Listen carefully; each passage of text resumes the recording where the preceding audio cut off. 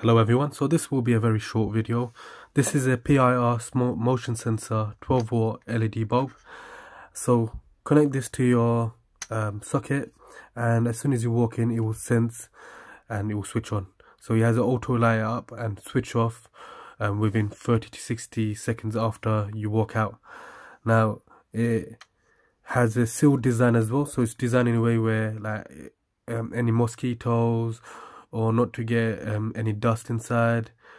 Um, rainproof as well. Obviously, you want to really use it in the rain, uh, but it's designed for that. So anti-mosquito, dust-proof, anti-rainproof, and also uh, it has a it has a sense object five meters in dark. So within five meters, if you uh, senses any objects or movement it will light up. So i will do a demo anyway so i can see i can show you exactly how it works. But it's very affordable. You can purchase one of these for less than five pounds. And it's very good as well. When it comes to motion detection and detecting if someone's walking in or near objects it's not really that good.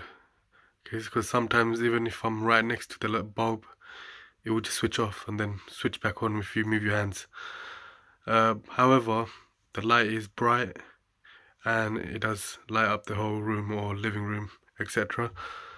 But remember, you have to have the switch the switch on constantly for that to operate. Okay, so let me show you. Let me see if that works. It will just randomly switch off like right now. You have to move your hands, even, and then it comes back on again.